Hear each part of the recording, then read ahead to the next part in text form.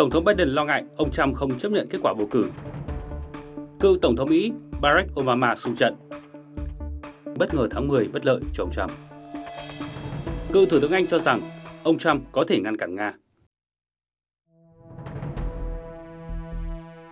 Ông Biden lo lắng ông Donald Trump không chấp nhận kết quả bầu cử.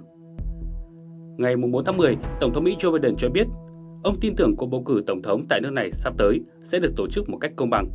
Nhưng ông cảnh báo ứng viên Tổng thống Đảng Cộng hòa Donald Trump và người đồng hành của ông có thể từ chối chấp nhận kết quả. Phát biểu hôm 4 tháng 10, ông Biden nói rằng Tôi chắc chắn cuộc bầu cử sẽ diễn ra tự do và công bằng, nhưng tôi không biết nó có đảm bảo hòa bình hay không. Những điều ông Donald Trump nói và các phát ngôn của ông ấy về kết quả bầu cử đều rất nguy hiểm. Ông chủ Nhà Trắng nói rằng điều đáng chú ý là Thượng nghị sĩ J.D. Vance, phó tướng của cựu Tổng thống Trump trong cuộc tranh luận trực tiếp với đối thủ Đảng Dân Chủ Tim Walz hôm 1 tháng 10, đã để ngỏ khả năng thách thức kết quả bầu cử ngay cả khi chính quyền các bang xác nhận số phiếu bầu. Sau khi để thua ông Biden trong cuộc bầu cử năm 2020, cựu Tổng thống Trump không thừa nhận thua cuộc và liên tục cáo buộc đã xảy ra gian lận bầu cử. Ngày 6 tháng 1 năm 2021, đám đông ủng hộ ông Trump đã xông vào đồn Capitol để ngăn cản Quốc hội chứng nhận kết quả bầu cử cho ông Biden. Đây là vụ tấn công nghiêm trọng nhất nhằm vào tòa nhà Quốc hội Mỹ trong hơn 2 thế kỷ.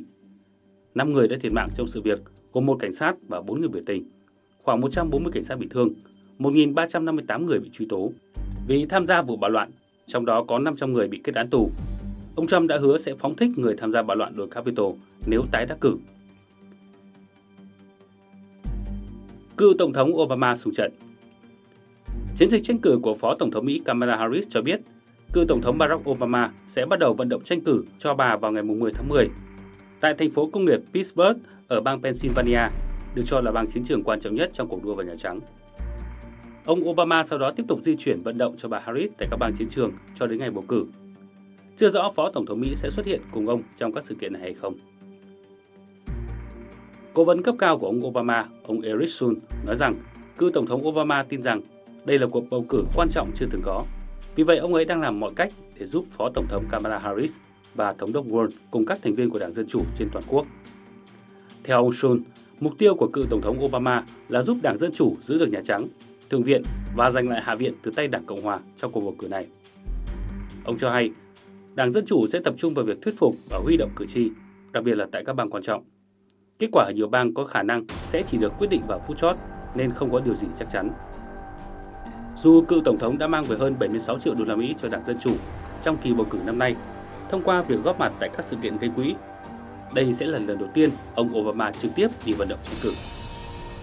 Ông Obama, 63 tuổi, vẫn là người có ảnh hưởng trong nội bộ Đảng Dân chủ. Ông đã ủng hộ bà Harris trở thành ứng viên của Đảng Dân chủ sau khi Tổng thống Joe Biden tuyên bố rút lui và hiện được coi là cố vấn không chính thức của bà. Khi phát biểu tại Đại hội toàn quốc Đảng Dân Chủ ở Chicago hồi tháng 8, ông Obama mô tả bà Harris là người kế thừa con đường chính trị mang tính tiên phong của mình. Ông cũng cảnh báo kết quả bầu cử tổng thống năm nay có thể hết sức xít sao, giữa lúc nước Mỹ đang bị chia rẽ sâu sắc. Theo kết quả khảo sát toàn quốc mới công bố ngày 3 tháng 10 do Emerson College Polling thực hiện, Phó Tổng thống Harris có tỷ lệ ủng hộ 50%, cao hơn 2 điểm phần trăm so với đối thủ Donald Trump. Khảo sát được tiến hành từ ngày 29 tháng 9 tới ngày 1 tháng 10. Bà Melania trở thành bất ngờ tháng 10 bất lợi cho ông Trump. Giới quan sát nhận định, tiết lộ gần đây của cựu đệ nhất phu nhân Mỹ Melania Trump có thể trở thành bất lợi cho chồng, ứng cử viên của Đảng Cộng Hòa khi bầu cử sắp diễn ra.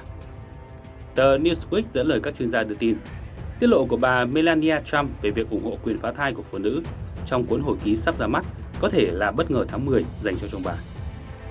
Trong bầu cử Mỹ, bất ngờ tháng 10 là thuật ngữ ám chỉ những sự kiện bất ngờ xảy ra vào một tháng trước khi tổng tuyển cử diễn ra, có thể khiến một ứng viên gặp bất lợi trên đường đua tới Nhà Trắng. Theo các chuyên gia, những sự kiện bất ngờ này có thể tác động tới quan điểm của các cử tri dao động và những lá phiếu của họ có thể xoay chuyển cục diện ở các bang chiến địa. Việc bà Melania ủng hộ quyền phá thai dẫn đến một thực tế rằng bà và chồng có sự khác biệt về mặt quan điểm. Ông Trump thường xuyên tuyên bố ông đã góp phần dẫn đến sự kiện Tòa án tối cao Mỹ năm 2022 Lật ngược quyết định được đưa ra trong vụ án Roe kiện Wade năm 1973, qua đó kết thúc quyền được phá thai theo hiến pháp. Sự kiện này đã dẫn tới việc các bang do Đảng Cộng hòa lãnh đạo ban hành các hạn chế nghiêm ngặt với đạo phá thai. Tuy nhiên ông Trump không ủng hộ việc ban hành lệnh cấm phá thai liên bang nhưng tuyên bố nếu đắc cử sẽ ủng hộ việc các bang tự quyết định vấn đề này theo nguyện vọng của cử tri. Trong chiến dịch tranh cử, bà Melania hiếm khi xuất hiện cùng chồng tại các cuộc vận động cử tri. Bà cũng không thường đưa ra các quan điểm về các vấn đề chính trị. Tuy nhiên, quan điểm của bà lần này lại rất giống với Đảng Dân Chủ, khi cho rằng người phụ nữ có quyền làm mọi việc với cơ thể của họ và đi ngược với nhiều cử tri Cộng hòa. Các cuộc thăm dò cho thấy cuộc đua xít sao giữa ông Trump và đối thủ Kamala Harris có thể được quyết định bởi một số lượng nhỏ các cử tri ở tiểu bang dao động quan trọng. Chủ đề phá thai vẫn là vấn đề hàng đầu được quan tâm, trong khi một cuộc khảo sát tháng trước của Trung tâm Nghiên cứu Pew cho thấy một nửa người Mỹ nói rằng chủ đề phá thai rất quan trọng với lá phiếu của họ, bao gồm hơn 1 phần 3 số người theo Đảng Cộng hòa. Bà Harris đã đưa việc bảo vệ quyền phá thai vào trọng tâm chiến dịch của mình và cảnh báo quyền sinh sản trên toàn quốc có thể bị đe dọa nếu ông Trump đắc cử tổng thống. Cựu Thủ tướng Anh, Ông Trump có thể ngăn cản Nga tấn công Ukraine Cựu Thủ tướng Anh, ông Boris Johnson cho rằng Nga sẽ không tấn công Ukraine nếu ông Trump là Tổng thống Mỹ vào năm 2022 vì lo ngại hậu quả nghiêm trọng. Trong cuộc phỏng vấn được Telegraph đăng ngày 3 tháng 10, cựu Thủ tướng Anh Boris Johnson nói rằng sự khó lường của ông Trump là yếu tố khiến Tổng thống Nga không muốn phát động cuộc chiến ở Ukraine nếu ông Trump là lãnh đạo Mỹ năm 2022.